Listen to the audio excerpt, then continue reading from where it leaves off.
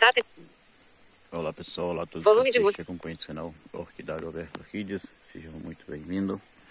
Vou mostrar para vocês aqui duas florações. Uma está aqui, a minha labiata. Vamos conhecer daí a rainha do Nordeste, né? Essa planta tá com três, três frentes floridas. Se eu consigo achar todas as três aqui para mostrar para vocês. A primeira já deve estar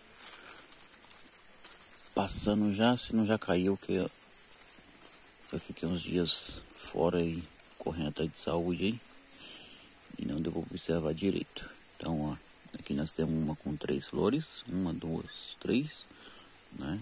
Ó. Ela podia ter vindo com a floração maior um pouquinho, mas tá perfeito do mesmo jeito. Ali, outra aqui com duas.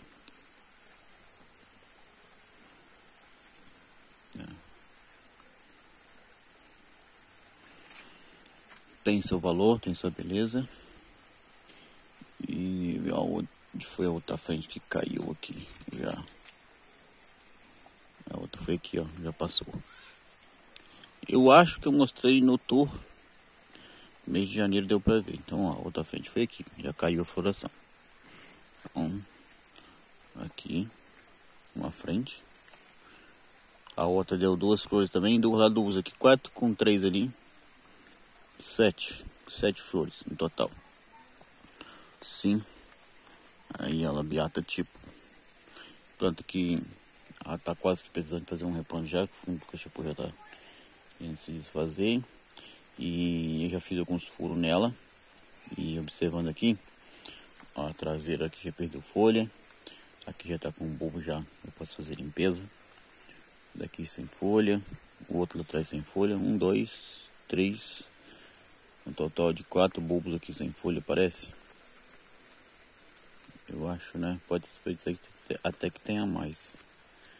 Aí quatro, mas aí ó, beleza para vocês aí ó, curtir de montão, certo?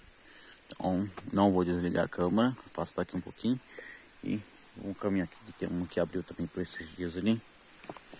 E eu preciso chegar nele.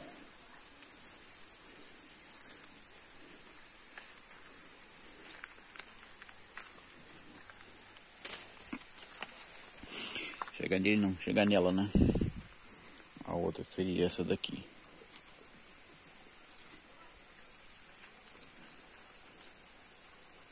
Também com duas flores.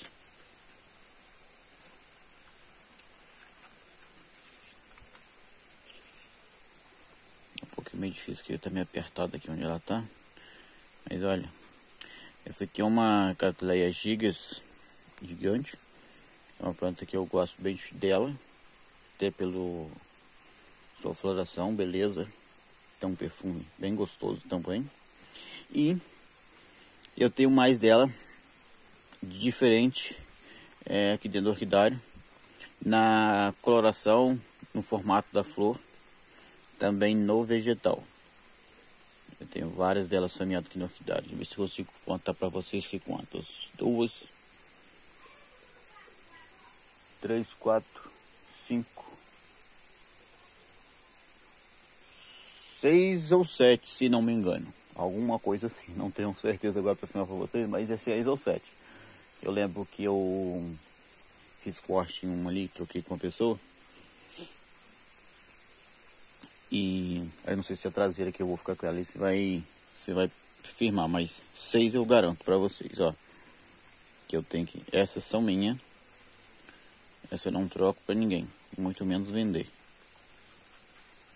Queria ver se eu pegava a flor direito para mostrar para vocês, mas a posição aqui tá bem, complicada. Mas acho, acredito que dá para vocês verem, né? Espero que esteja mostrando a flor e não a minha mão. Quer dizer, eu falo que tô mostrando a flor, tô mostrando mais a minha mão. Certo? Aí essa lindeza. Tem essa aqui, tem as. Aqui as pétalas aqui um pouquinho mais firmes. Tem uma outra que ela é mais comprida que isso aqui. É bem parecida com a labiata. Uma forma, uma, perdão, parecida com uma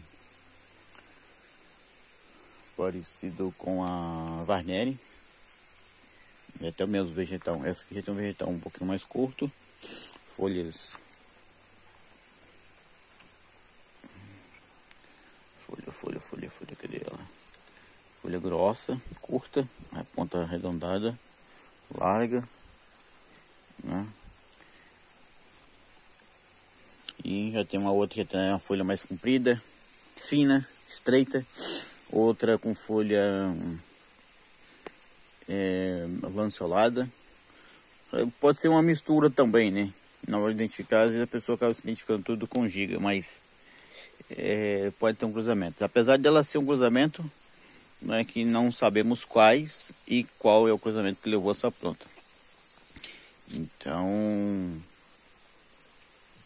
ela tem variação. E foram identificados aqui para mim como gigas. Então, era isso que eu queria estar mostrando para vocês. Essas duas belezas aí, tá florida aqui. Agradeço a todos aí por estar acompanhando os vídeos e ter ficado até o final. Um forte abraço e até o próximo, se Deus quiser. Fui!